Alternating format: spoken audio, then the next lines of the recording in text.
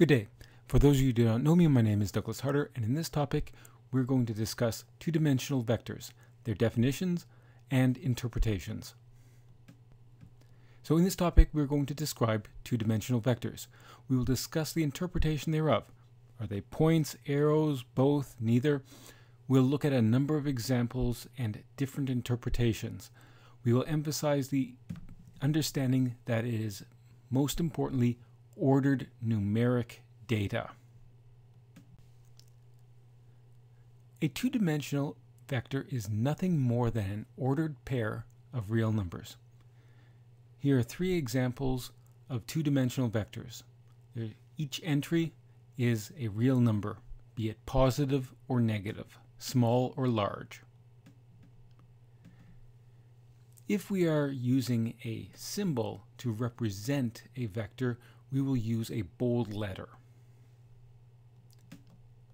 Now, in some cases, we may not know what the entries are, or the entries could be arbitrary.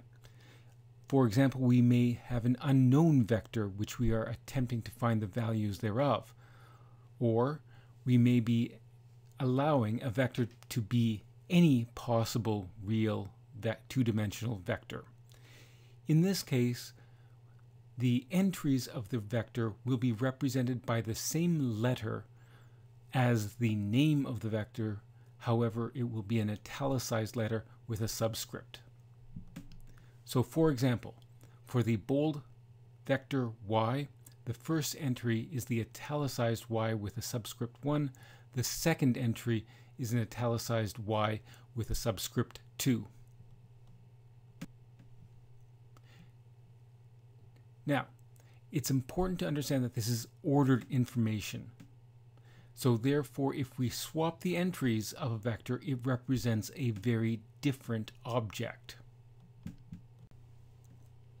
So for example, the two-dimensional vector u is equal to 0.21 negative 1.68 may be thought of as a point on the plane relative to the zero vector or the origin, where the first entry tells us how far we should move to the right of the origin, and the second entry tells us how far to move up from the origin. However, as the second entry is negative, we are moving down from the origin. You will note that this vector v is equal to negative 1.68, 0.12 is a very different point indeed.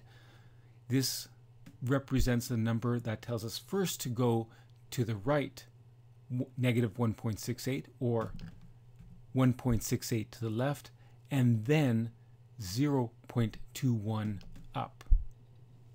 So again, for a vector, it is ordered information and if you switch the order, it represents a complete different object.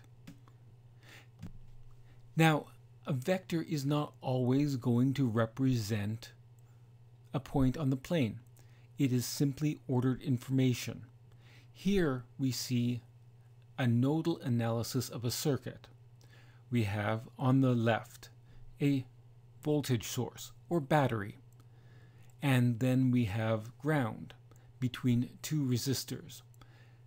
The vector gives us the voltage at the point v sub 1 and the point v sub 2.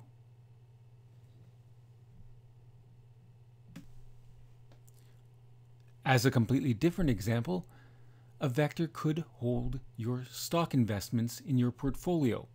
For example, if you are holding only two stocks, this vector S may represent how much money you are holding in each of these stocks. For example, you may own three, uh, approximately $3,150 worth of stock in Ford Motor Company and just over $10,000 in Apple Incorporated. A negative number here could, for example, represent a short sell. Remember that vectors are ordered pairs. If we swap the entries, this vector here is going to represent a very different investment from the vector above. Now, textbooks and papers often use bold letters to represent vectors. On the blackboard, vectors, at least by this author, are usually drawn as Roman letters with an arrow. Finally, occasionally you may see a vector represented with either, either an overbar or underlining. In any case, pay attention to what the user or the author is using and just accept the notation that is being used. In the course text and these lectures, we are using bold. In the classroom, this author will use an arrow above the letter. Now, there is one special vector we have to introduce, and that is the zero vector, represented either as a boldface zero or a zero with an arrow on top. This vector is the point that is zero in each direction. And just in case you didn't see it, there it is. We may call this either the zero vector or we may sometimes call this the origin, depending on what is appropriate terminology. Now, are vectors arrows? Now, this is a question of interpretation and appropriateness. Consider, for example, the following vector, negative 1.3, 1.8. I could interpret it as simply a point in the plane at that location, or I could interpret it as an arrow extending from the zero vector or the origin. If we are using the arrow notation, the location of the vector is also going to be called the head of the vector, while the origin will be the tail of the vector. Now, to consider this idea of do we use arrows or dots or points, let's consider the fact that you're driving down a straight road. First of all, you must describe your location relative to a known location. You're on the 401 you're 260 kilometers away from your favorite restaurant, the Big Apple. Well, 260 kilometers only tells you how far away it is. That's an absolute number that gives no information of direction. If we need to understand where we are relative to a location, let us assume that the Big Apple is at zero kilometers. I am now 260 kilometers east of that restaurant. I could either represent this as a point 260 kilometers relative east or an arrow going to that location. 100 kilometers west would be represented as negative 120 kilometers east. So again, which interpretation is more reasonable here, an arrow or a point? As a location, I think a point would be more reasonable. Similarly, suppose I'm driving at 110 kilometers per hour. Again, that is an absolute value and therefore does not indicate whether or not I'm moving towards the restaurant or away from the restaurant. To give spatial information, I need a velocity. Am I moving west or east? So in this case, I need to adopt that a positive number is a velocity or moving towards the east. A negative number is going to be moving west. So in this case, my velocity would be represented as negative 110. This is relative to not moving at all or 0 kilometers per hour.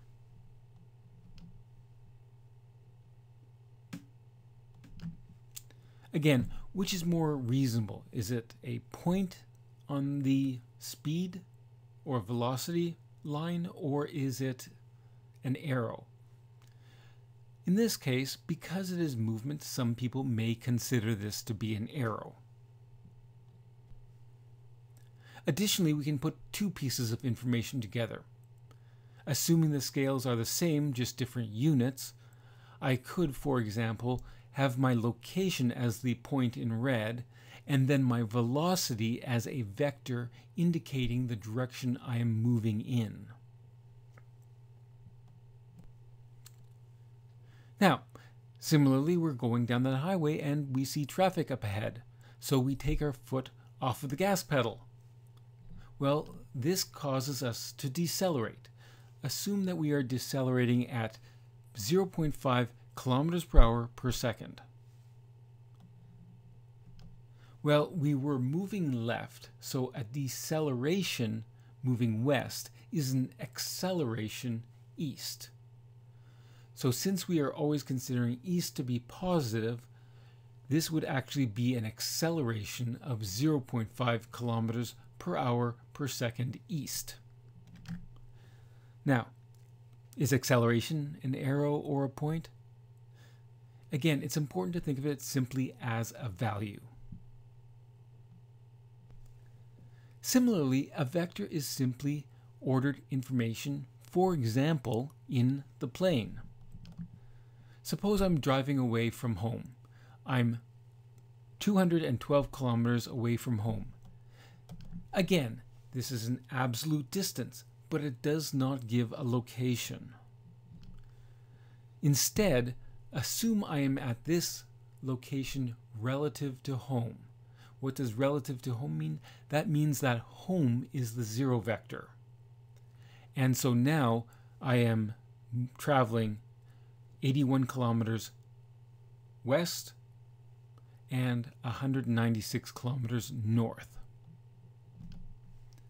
Now, remember, that's going to be something very different from 196 negative 81, which would represent 196 kilometers east and 81 kilometers south. Relative to my home, close to the Laurel Creek Conservation Area, the first location is Tobermory, whereas the second location is very close to Warsaw, upstate New York. Just for context, here's the origin at Laurel Creek Conservation Area. The location I am traveling to is up here at Tobermory.